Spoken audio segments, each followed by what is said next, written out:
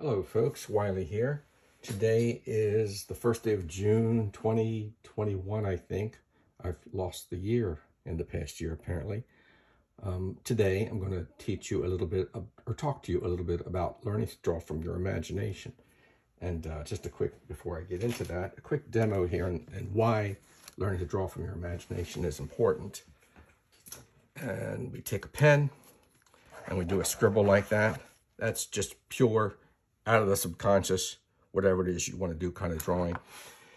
But if you have to copy something, if you have to copy a photograph, we're going to use this as our photograph. I'm going to sit here and attempt to make a copy. And as you can quickly ascertain, hey, I used a big word today, very good start for the day, must be the extra coffee. You can see that it's it's kind of challenging to make the same movements. I've done a okay job, but you can see this is the original, this is the copy. And just the same as if you were copying a, a photograph, you know, the, the uh, copy itself is very challenging. If you think this is not true, for example, go, go look at a Van Gogh painting and you say to yourself, yeah, I, I can do that. I mean, child could do that. And then go ahead and try and do it. And you'll find that you can't do it without an extreme lot of practice because his work, his work, for example, is extremely spontaneous, overexcited, dive right in, no copying, just take from nature and, and go for it, all right?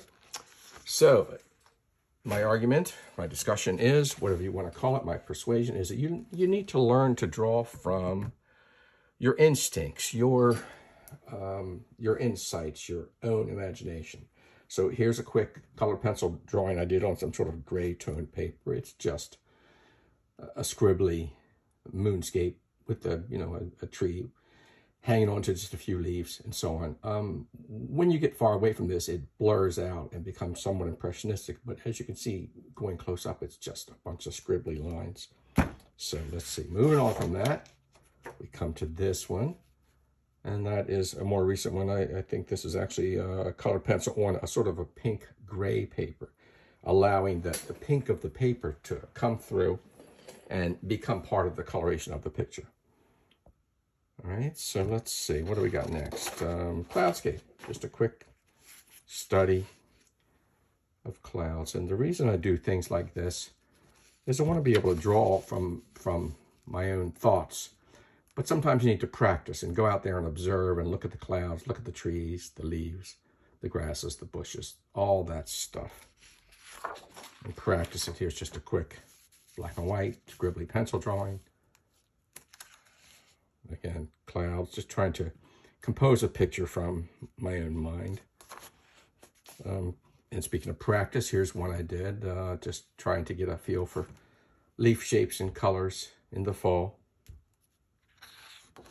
What have we got? All right, and then I frequently sit down, and, and again, this is from my, my imagination, or you could even say it's from my memory, having looked at trees and studied so many trees over the years. This is apparently an apple tree because I do see I have a little red apple in there. And this again is on some sort of um, toned tan paper. Again, uh, looking for that, that scruffy pine tree that you see on the eastern shore of Maryland. Here I've, you know, tried to get that sort of decimated look that it gets when it's been bitten and chewed up by the sand and the wind and the rain and and uh, you get that sort of uh, forlorn look that you get on trees of that type. Another example of the same sort of thing, only a different type of tree. All right, you can see that I, try to capture the nature of the tree in that it's alive at the bottom and, and kind of spilly at the top where it has new growth. Um, and as these trees age, and I'm not discerning necessarily between cedars and, and evergreens and pine versus uh, this and that. Uh, I'm just doing some sort of an uh, iconistic memory picture of a particular type of tree. You can see the limbs droop as they age.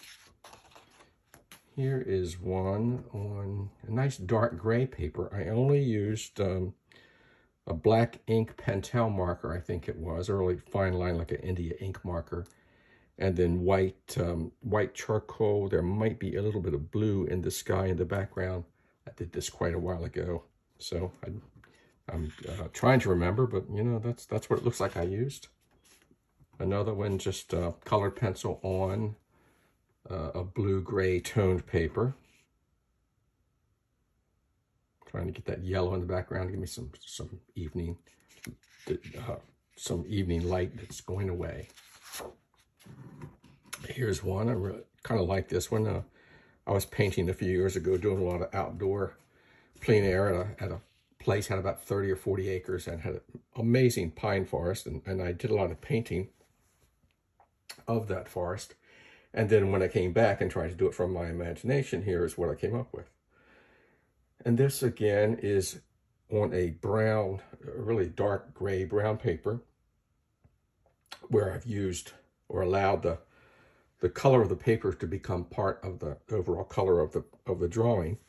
And I've used, um, looks like green and uh, burnt sienna and burnt umber colored pencils. And then I've highlighted the sky with um, white charcoal. And I see in the distance in this lower area here that I've used some sort of lavender or light purple marker. And this is just some scribbly thing, trying to do a ravine like we have so many of these in the in the Patapsco River Valley in, in which I live.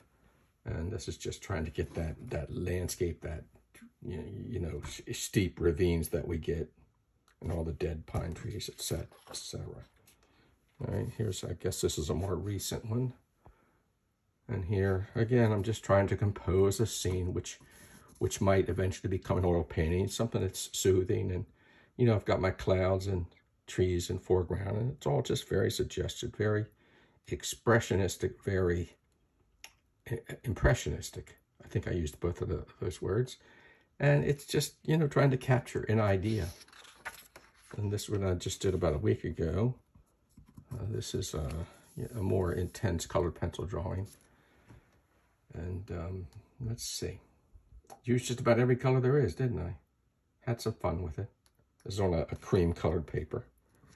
And then, let's see what else I've got here. I've got one more, I think. And here we go, trying to do a little afternoon sun scene. And I, I think I'll probably definitely make this one into a painting or in combination with the, the two previous ones. And and uh, But again, I just sit down and, and try to do that light and dark and that far away bright and that close-up cool color.